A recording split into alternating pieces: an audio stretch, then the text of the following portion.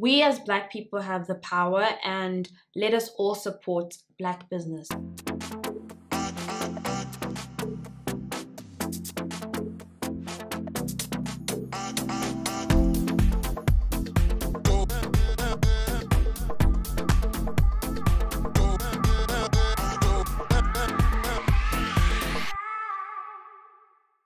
Hi everybody, welcome back to my channel.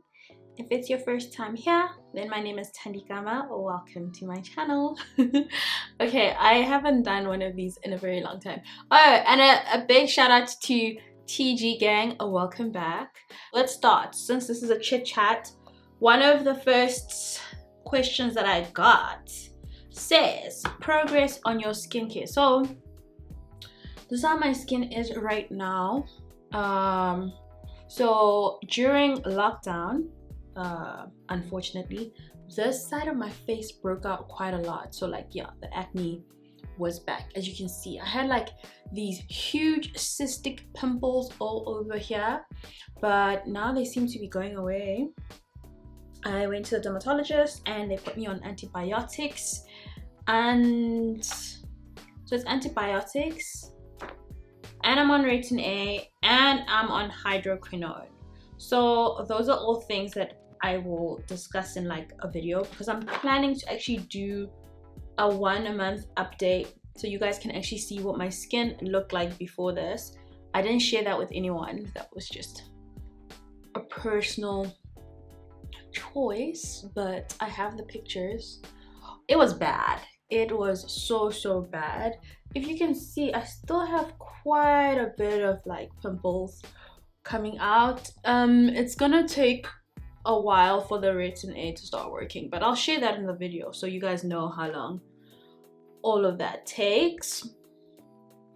But yeah guys um another important one that I feel like we should simply address now and get out of the way. Um guys I won't be mentioning the products that I'm using but I will link everything down below because I feel like it will distract me from participating in this video. I put my monitor on this side because I couldn't see with the ring light so please if I look distracted it's okay. Another question someone asked uh, why haven't I been vlogging?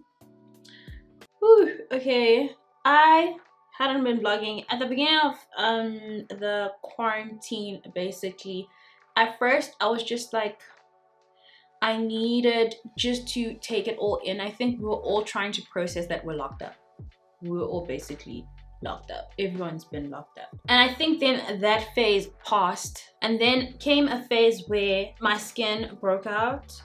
Then it was just like, you know, you want to be comfortable when you're on camera. Because we're all locked up, I didn't want to have to now be vlogging only when I had makeup.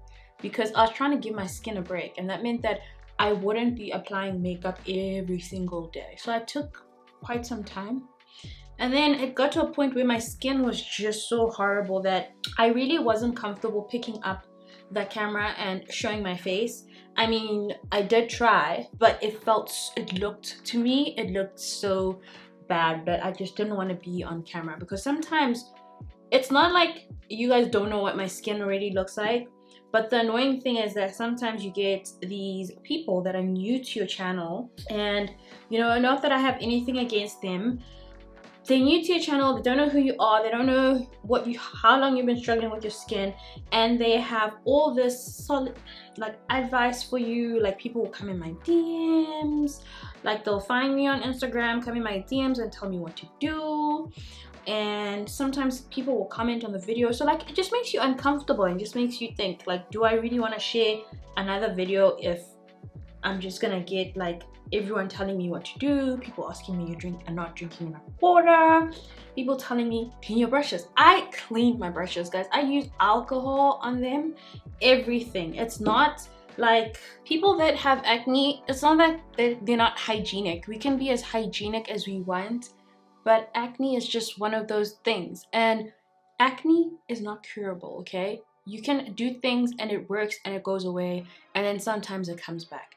Mine went away and now it's back. So we're dealing with it again but yeah i'm happy. I'm on meds for the next three months and obviously depending on what my skin looks like in three months the dermatologist might extend that or not. So yeah that's that okay so how to work with brands. I guess this is someone interested in being an influencer. So i guess when the best advice for that is when you're trying to be recognized by brands right? Look at people. I always say create a case study of people that are working with brands but not just anybody. Like create a case study of people you like okay? And then um try and analyze. So it's like you're doing research. Analyze what exactly that they're doing that you think brands are attracted to. And then from there on, try and see if your content is sort of like in line with that. Not exactly like, don't try and recreate people's content, but I just mean if like their content is like top notch quality, are you trying to produce like quality content. If their content um if they're creating content that speaks to a specific niche are you creating content that speaks to a particular niche that you are trying to target okay? Because obviously we all don't want to do the same thing when it comes to being an influencer. Not everybody wants to do beauty not everybody wants to do this. But based on whatever you want to do are you creating um content that like speaks to brands um, that are there. So, for example, if you wanted to be a travel content creator, you can't just expect brands to work with you when you've never even shared anything about traveling. Saying you can't go to someone and say, I know I can create good travel vlogs. We all want to see work that you've done. Because trust me there's already people doing what you want to do and they have a case okay? So what's stopping that brand from approaching someone that's already doing it if you're expecting them to work with you when you've actually never created any content around that? And also another thing is sometimes some people have come into my dms and said uh, i want to be a beauty content creator and i'll look at the page and not a lot of it says beauty or you've probably paid, posted two three posts where you've tagged. It doesn't mean if you've tagged three posts like the brands will immediately um, send you an email and add you on their PR list. Sometimes it takes work okay? Like if I think about how long it took me I was creating content for over a year, guys, before the first brand ever, ever recognized me or approached me. And within that year, I had created tons and tons of videos. I'd, I'd shot tons and tons of beauty photos, tagging all these brands. And within that one year, something months, only one brand approached me. Not all of them that I tagged approached me, but I was grateful for that because that was the first door. But whenever we want anything in life, you actually have to work for it. It doesn't really, it never comes easy. Nothing worth having in life comes easy. Okay, Thandi, the reality of being an entrepreneur. Yo, the reality is that a lot of work goes into it, you know, you can't, I can't, um, like, sometimes I've struggled to create content because I have to put the business first and put my clients first. I can't just be like, hey, I'm an influencer before I own Lash Me Baby. No. The day I chose to launch that business is the day that I took on the, the big responsibility to say that if yet tomorrow I planned to film a video, but one of my clients has an issue with their package, I cannot film that video unless I've sorted out their package I've chased down and I made sure that I know um, when they will be receiving it or whatever the case. So entrepreneurship is not easy. It will test you. You need to have patience. You need to be someone that looks at the customer and understand that the customer is always right. The one thing that I'm grateful for is that growing up, I've had different jobs in so many different fields and always been where I'm in a position where the client is right and I, and like literally the way I've dealt with clients in the past, I have learned to have patience. I have learned to um, see someone scream and just keep quiet and give them the opportunity to vent out because you know people have had bad experiences before from other people and sometimes when they support something that's new it's not easy just putting their guard down. So that's one of the things that i've had to to deal with. The reality is that like it's not easy. It's it's not as pretty as people think it looks. It takes time to to see a return on your investment because what usually happens is that when you start making money all of that money keeps you need to keep reinvesting reinvesting reinvesting if you actually want your business to grow further than where it is. Yeah it's it's it's it's tough. It's tough but it's do- doable if like you literally tell yourself that you know what? I'm gonna do this. If you wake up every day with the passion and with the drive you will get where you want to go. You will. It's it's doable that is the reality. It's doable. It is not that hard. You just need to have patience people skills and you know certain things. And some things you learn on the way okay? Like that's why i always say find people that can guide you. Have someone it's always good sometimes to also have a mentor. Um i want to have a mentor but I'm just still trying to figure out who the right person is to approach. But the thing is, the reason why I really didn't have to rush is because I've worked for close to, I can't believe this, I'm sure it's like close to 10 years of me working now. So just my experience with, with clients is there. What keeps you going in this uncertain time uh, business wise? in the beginning when we were all locked up and I couldn't ship anything, I was kind of stressed. I really was kind of stressed.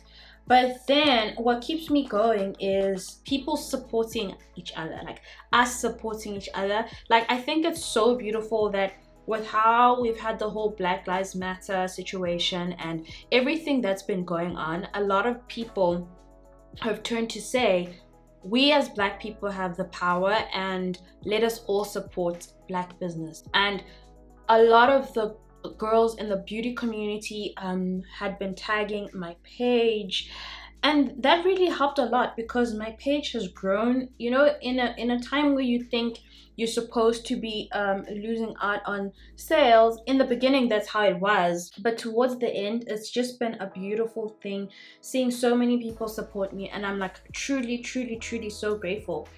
And what i realize is that as black people we really do have the power to ensure that the next generation has everything that we never had. I mean, if we continue to support each other the way we're doing now, imagine what all of us could achieve in two years from now. If everyone comes out with a business and we are all there to support and circulate the wealth, I mean, we will become unstoppable unstoppable. So I think it really hasn't been that bad. What's kept me going is people in my community, my followers, everyone that's been supporting me really has kept me going. Oh, oh my gosh, this topic always comes up.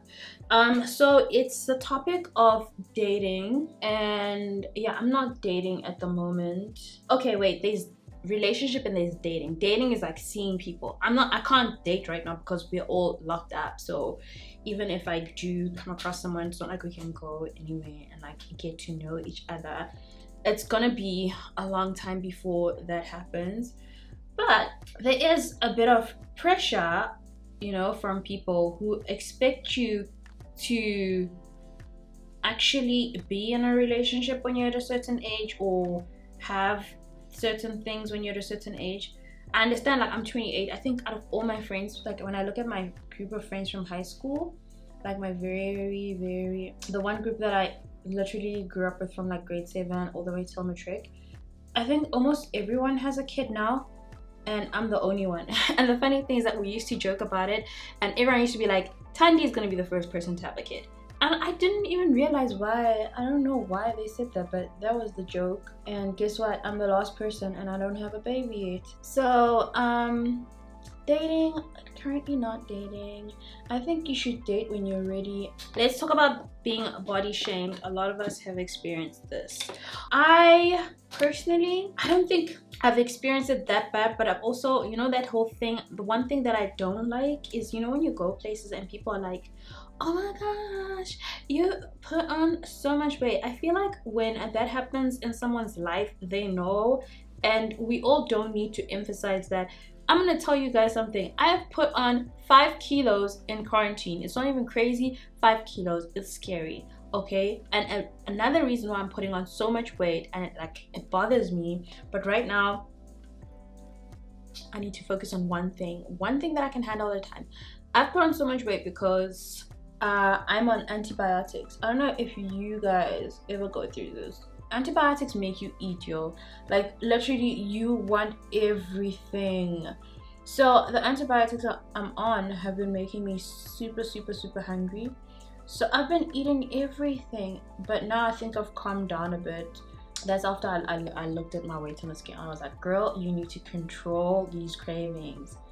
So um, I know when I come out of this, a lot of people are gonna be like, oh my gosh, you've gained so much weight. I, I so wish we could all respect one another. Like, you really don't know what's going on in someone's life for them to put on weight and it's not like they don't see it and i think when they're ready to to deal with it they will because you saying you've put on so much weight does not change anything in most situations i feel like you are pressurizing this person to now stress eat that happens to me if like people put pressure on me i stress eat so i don't like pressure i like doing things at my own time so like you guys probably know this. I'm, I'm the queen of doing things at my own time when I feel like the time is right. I don't like rushing anything. So yeah, but I've been walking. Uh, I've been doing 10, I've been trying to do 10 Ks a day.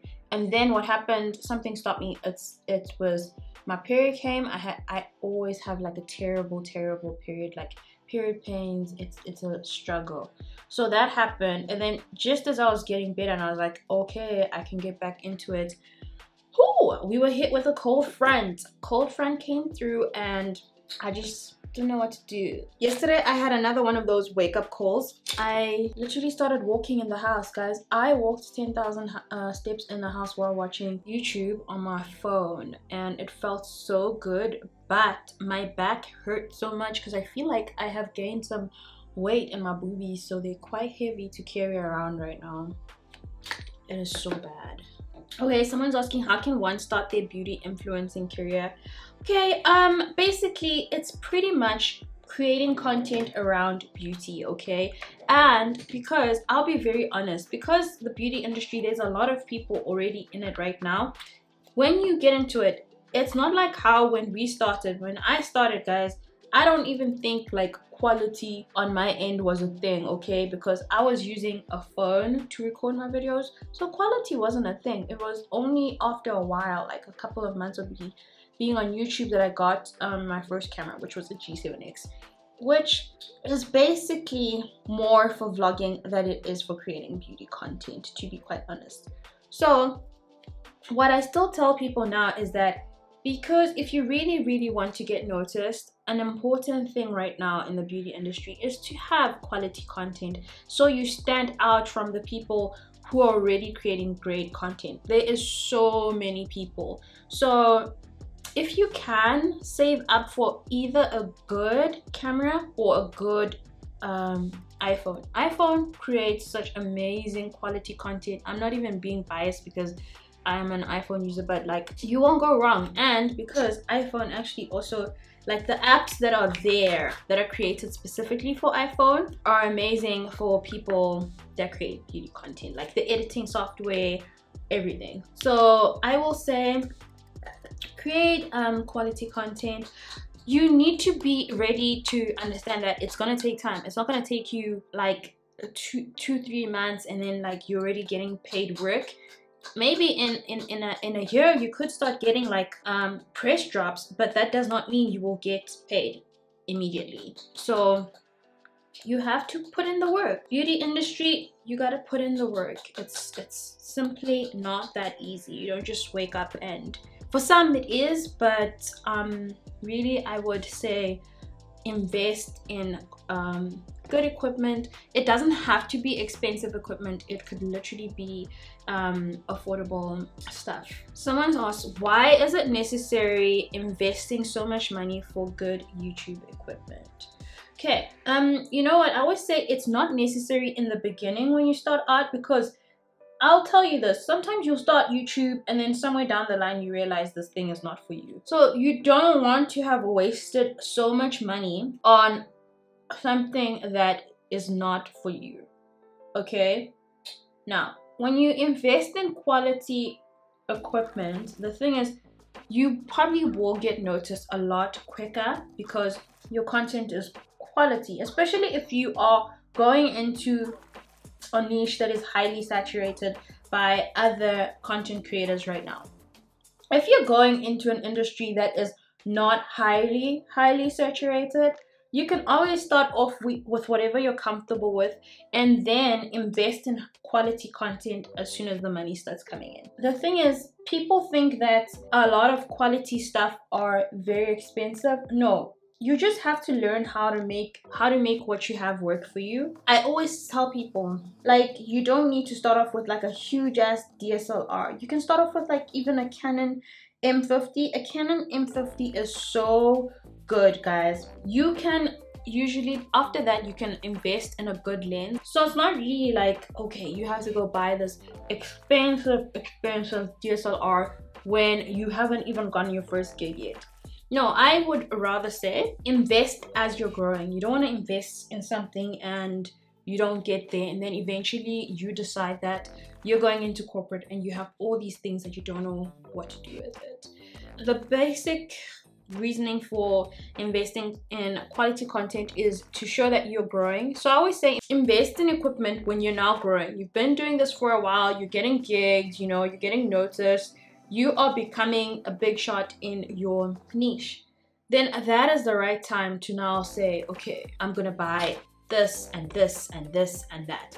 But before that, not necessary. Start small because when you start small, don't forget you can always sell that stuff when you're now ready to move on to um, your good equipment. Think about it like this way when you're driving. Guys, we all don't start off with a Maserati, right? We buy ourselves like a Toyota or or something, you know, just till we know how to drive or a perfect driver or till we've moved on to a rank where we can afford the Maserati. Don't feel pressured to go buy expensive stuff. Like, what was the first big brand you worked with and that actually opened doors for you? I think the first big brand I remember quite well, it was um, Estee Lauder was the first big brand I worked with. And I remember at that time, I was like, oh my gosh, why are they working with me? Because I think I only had 2,000 followers if I'm not mistaken. So in my head I was like I'm not big enough for them to want to work with me because when you think about it Estee Lauder is such a big company and I think after working with them, a lot of other brands realized that, okay, she's probably someone we can work with. I remember after them, a lot of brands started approaching me. And yeah, it was just such a beautiful experience to work with them. I loved working with them. Oh my gosh, are you happy single or are you miserable? I am happy because you know what, what right now having a business is keeping me busy. Having a business, trying to be a content creator, trying to, you know, do so many things at once, having so much responsibility, I forget that I don't have that. Obviously, it's it's normal. Like sometimes you think, oh, I wish there was someone that could do this for me right now, or I wish I had someone besides my sister to do things with, or my friends. Like you know, like you just yeah, it's not like I don't think about it sometimes. I do. Um, but I genuinely still believe that it will happen at the right time. Someone wants to know about healing from past relationships. Okay, when it comes to relationships and healing, I think that a good thing is before moving on, give yourself time. Like, you know, think about it, cry if you need to, um, you know, reminisce on the memories let that stuff go. I mean, being with someone for that long is not something you can easily get over like and be like tomorrow morning be like, oh, I'm done, I'm good, I can move on to the next guy. This guy was waiting, so I'm ready to to start talking to him. I don't know, for some people it's easy. but yeah i just feel like give yourself time and even if like certain people take two days to get over a relationship give yourself as much time as you need if you need a year then do you. Um i've just always been someone that's comfortable taking my time with things like that. Someone says what made you choose youtube over corporate? I think it was the fact that i could be in a place where i was comfortable and i had full control of my finances in a way. And I wouldn't have that scary thought of someone letting me go or like worrying about someone else having the power over my life in their hands you know what i mean? And I've, I've always known that i wanted to work for myself eventually and that just felt like the perfect time to go ahead and do it and leave corporate. So i just went ahead and I did it. Ooh, okay, this is the last one. The importance of self-love. Self-love is important because nobody is gonna appreciate you if you don't learn to appreciate yourself. No one will love you the way you want to be loved if you don't know how to love yourself because I feel like we can only express how we want to be loved once we fully understand ourselves, you know? So, learning yourself, learning your love language, learning what you want basically, and learning to find peace in yourself before you expect it from someone else is so, so, so important. And someone says, doing you for you. Okay, that was an interesting one. Doing you for you. Um, it's almost feels like it's like one of those statements where it's almost like own pace, own race, okay? We all have different lives. We all have different callings. We all have different purposes. And it's important to do you and not trying to be anyone else. So that is like a very important thing because the only way you'll succeed is when you are yourself. Independence. Independence is important. One thing that i appreciate about being independent is that it makes you work harder. Also um but the other thing that people get wrong is that you take wanting to be independent as a way of not asking for your for help when you get stuck in a rut. You know, when you get stuck, I think it's important to ask people that know what's going on or are far learner than you. You know, it's okay to, to be honest and say, listen, I'm stuck. I don't know what to do here. So independence is important, but also learn that sometimes in some situations, you just gotta throw independence out the door and say, I need help, y'all. Um, this is a nice warm winter color. I'm gonna ombre it.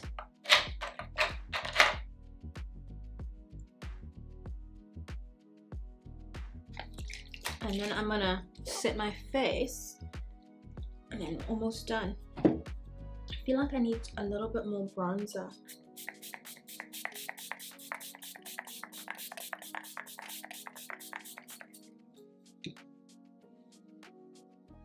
Okay, so let me look for one more while this dries up. Mental health and social pressure and beauty. So I think it's important to take care of your mental health. When you're not feeling okay, don't don't look at what everyone else is doing and feel like you need to be in the same position as them. This is why I haven't been vlogging. Even if even though my sister lives in the same house as me and she's able to vlog, if I feel like mentally and emotionally I'm not in the right space to do it, I'm not pressured by her walking around with a camera and releasing content and I feel like, oh my gosh, I'm not doing anything. Or when people are creating content and I can't because my skin is not in a good space, I don't I don't feel like I need to be pressured because everyone else is doing it. That's because I'm taking care of myself. Um, I'm not trying to put too much pressure on on me. It's very important to do things for you and not because everyone else is doing it or because people want you to do something or everyone is telling you this is where you're supposed to be right now. Focus on yourself. Um, you should know when you're ready to do something.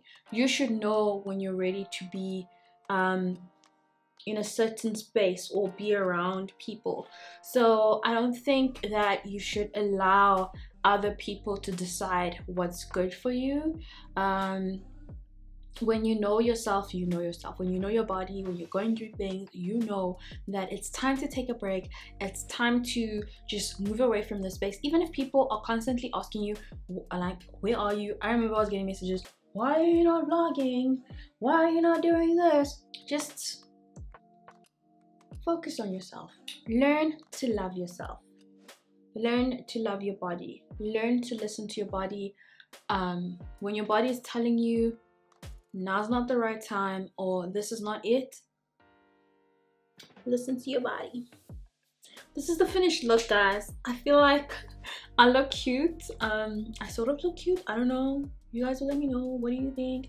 I haven't done my makeup in front of the camera in such a long time and because we were talking i really do hope like this topic was interesting for you guys if you guys enjoyed this video please do give it a huge huge huge huge huge huge thumbs up um if it's your first time here don't forget to hit that subscribe button I will see you guys in the next video. And before you ask about this hair, this hair is, um, I will link it down below.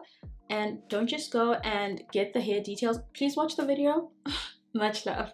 Till the next one.